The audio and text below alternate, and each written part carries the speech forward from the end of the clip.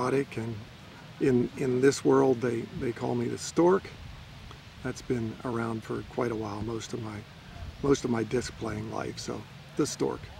I I was playing with various kinds of discs for a long time in my life. I started, I guess, when I was five, and through most of my like junior high and high school years, my friends and I would play what we called frisbee football, and so we were pretty well acquainted with the throwing and the catching of, of and cutting and, and that sort of thing. But I had only kind of vaguely seen mentions of New Jersey High School Ultimate in Stancil Johnson's book, Frisbee.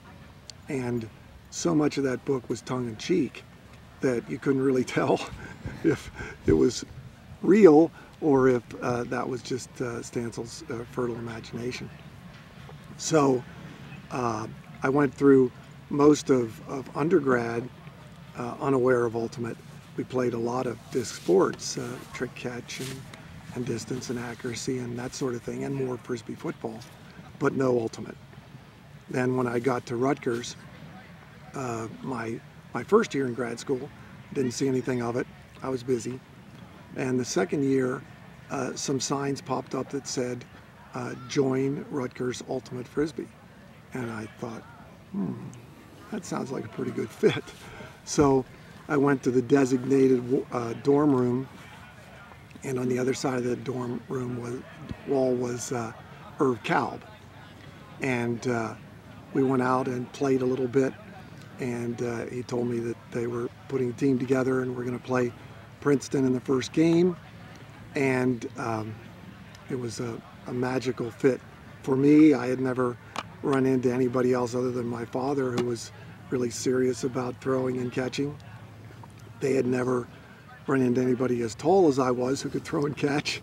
and so it was it was love all around.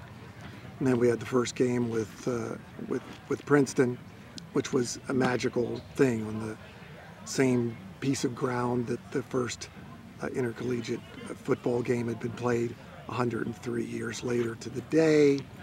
Uh, we beat Princeton by the same margin too. Uh, the press turned out. It was it was a, an unbelievable day. Uh, the the team had done publicity. Uh, a thousand or so people showed up. They got carried away and were screaming and yelling like it was uh, the biggest football game they had ever seen. Uh, the game was tight. Um, the press came. They did full full newspaper page coverage of it. Every every uh, television station in town did a big piece on it. And at the end of that game, I mean, we just thought, this thing's this thing's blowing up. I mean, we're going to be a Monday Night Ultimate by the end of the month. Uh, and then we played the rest of our season, and it, it kind of fell back to the club sport uh, uh, status that that it was had grown into. But but it was really exciting to be part of that. Uh, we were one of the first club teams to, to get funding, and so we were able to travel around and play a lot of the beginning teams in New England. So we played uh, Tufts and RPI and Cornell and all of those people and took the big red bus and got off and uh, we were we were pretty good. We went undefeated for, for a long string there and it was a great time to be a Scarlet Knight.